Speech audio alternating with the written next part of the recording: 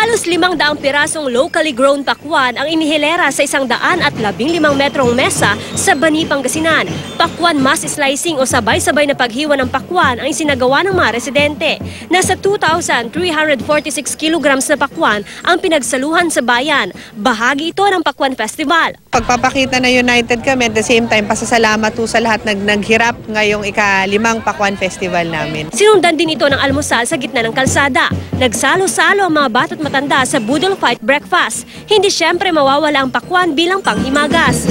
Ibinida rin sa selebrasyon ang mga putahing sinangkapan ng pakwan, gaya ng tinolang manok, meatballs, sinigang na lapu-lapu at ginataan. Ang lahat ng ito with pakwan.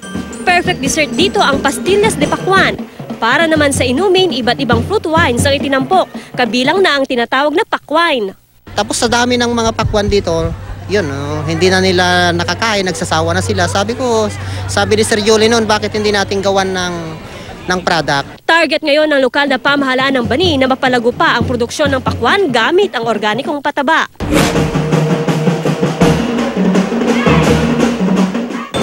Pangasinan naman, nagtagisan ng galing sa pagsayaw ang mga estudyante ng Arboleda National High School sa Barangay San Pedro, Ili.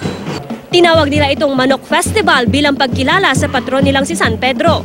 Ang mga costume ng mga street dancer, chicken-inspired. Gawa pa ang mga ito sa recyclable materials. Hindi lang mga estudyante ang nanood, kundi maging mga residente sa barangay. Talagang aabangan ko ito. Ay, apo ko yung dancer.